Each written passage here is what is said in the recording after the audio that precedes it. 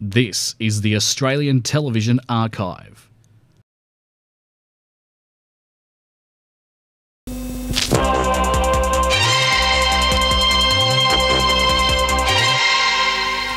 Good evening, everyone. Well, it's really nice to have your company tonight, and I hope you're enjoying your entertainment. But next Thursday night at this time, I'm quite sure you're going to enjoy what's presented to you when we bring you a brand new program entitled Six Tonight, a talk variety show which will present people, issues, entertainment, you name it, it's going to have it.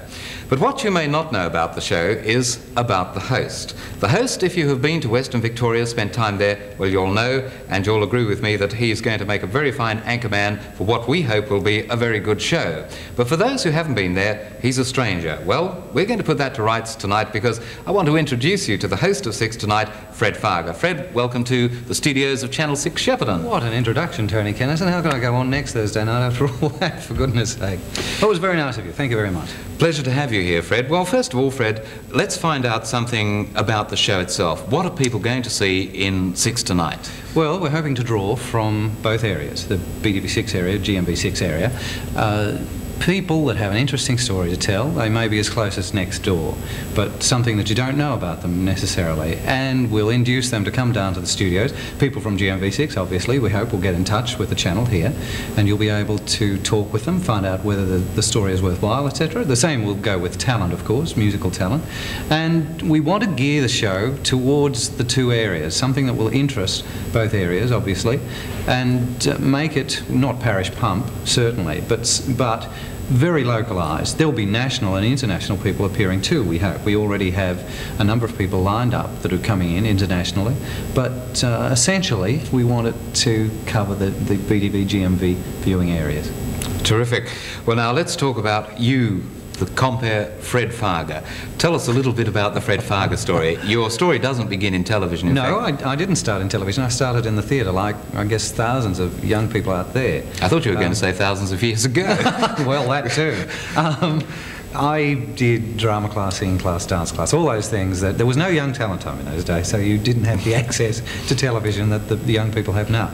And uh, I went through all that sort of carry on and began to work professionally. I was accepted as one of six Victorians by a very famous choreographer who was working in Australia for two years called Jacques Fisher. I did a course with him and uh, graduated in full production school technique for the theatre. I still dabble in the theatre in Ballarat, but uh, majorly it, it gave me me an insight into what to expect with any sort of production, either television or theatre. Television was, of course, quite young in those days in Australia. And uh, I was dancing in a show and, and working opposite Toni Lamond when um, a very famous gentleman, as far as the Six Network is concerned, saw at work and asked me would I be interested in a career in television. I was 21 at the time. That's five or six years ago. And I said, yes, I would be interested, uh, not knowing anything about electronics, but it was more the creative area that he wanted me to work.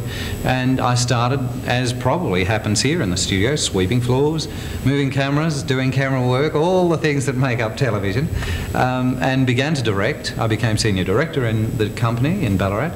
And because of my theatrical background, all of a sudden they mooted a Tonight Show, which has the same title as the new show, Six Tonight, but it was a different format. And I was, I could say this here, I wouldn't be allowed to say it at home, I was told I'd be the front man for it, not ask would I like to be the front man for it. So after seeing a number of contemporaries all um, try to begin a career on camera and die rather sordid deaths, I was quite worried about making the transition from behind the scenes and telling everybody what to do to working humbly in front of the camera with the director and everybody else shouting instructions at me as to what they wanted me to do. Well, Fred, I'm going to interrupt you there because as a front man, you must have been successful, successful because you did that for 10, 10 years, years, which yes. is an extraordinary run.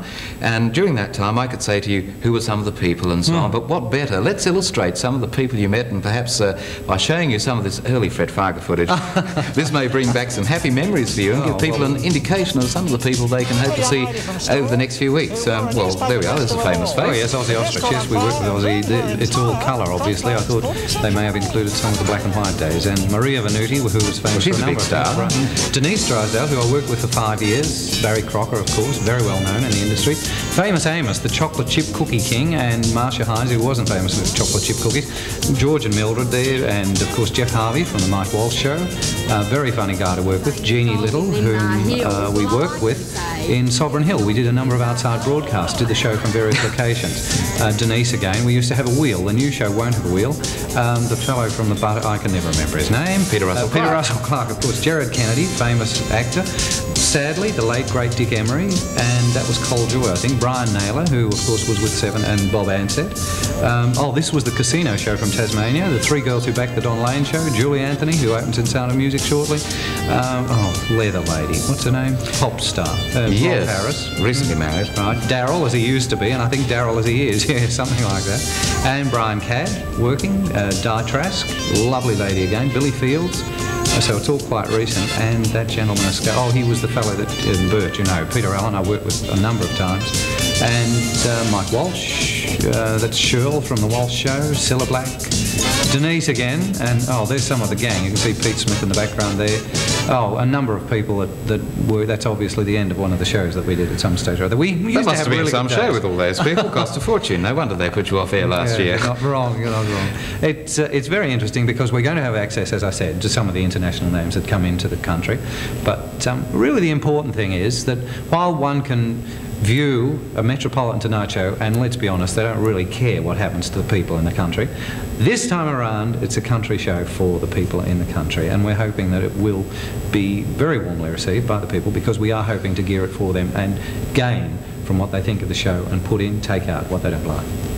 Well, Fred, unfortunately, uh, time has caught up on us. Always I found that all very interesting. So tonight we've been able to talk about the show, and I know that you're going to receive Fred very warmly into your home starting next Thursday night. There's going to be competitions. We're going to give things away, so that's Oh, going out yeah, of style. be- mm, all right. easy stuff, and Right. uh, lots of fine entertainment, and plenty from the GMV viewing area as well as uh, Western Victoria. So we hope you could join us then. But um, I didn't really get to what I wanted to do. Fred has a very interesting background. He has something in common with me. We haven't got time to talk about it tonight. So if you're not busy next Tuesday Sounds afternoon. like days of our lives, for goodness Funny you should say that. Right after Days of Our Lives, Oh. I'm going to find out a little bit more for you about Fred Fargher, the person. So um, hope you can join us then. But whatever you do, don't forget to make a day to join us again next Thursday night, 9.30 here on 6 for the premiere of 6 tonight with my good friend Fred Fargher. Thanks, Fred. Thanks, mate.